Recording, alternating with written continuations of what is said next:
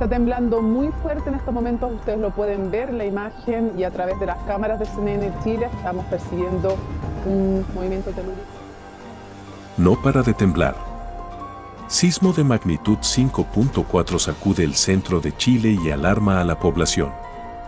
En contenido viral te contamos todos los detalles de esta alarmante noticia. No te vayas y suscríbete para que los descubras. Las autoridades de Chile reportaron en la noche un sismo de magnitud 5.4 que se sintió en el centro del país sudamericano. La Oficina Nacional de Emergencia del Ministerio del Interior, ONEMI, señaló que el movimiento telúrico se percibió a las 22 y 11 hora local en las regiones de Valparaíso, O'Higgins y Maule, y su epicentro se localizó a 21 kilómetros al sur de la ciudad de Rancagua. ¿Sabes qué hacer en caso de una alerta por sismos? Cuéntanos en los comentarios. El organismo manifestó que, por medio del Sistema Nacional de Prevención y Respuesta ante Desastres, actualmente se evalúan eventuales daños a personas, alteración a servicios básicos o infraestructura producto de este sismo. Igualmente, dijo que las características del movimiento sísmico no reúnen las condiciones necesarias para generar un tsunami en las costas de Chile. El presidente chileno, Gabriel Boric, se pronunció sobre el hecho a través de Twitter.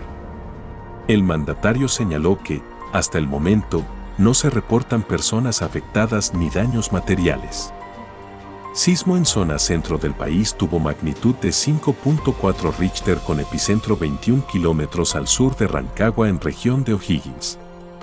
Hablé recién con gobernador y delegado presidencial y no se reportan personas afectadas ni daños materiales por ahora. Seguimos monitoreando. Un abrazo, escribió Boric.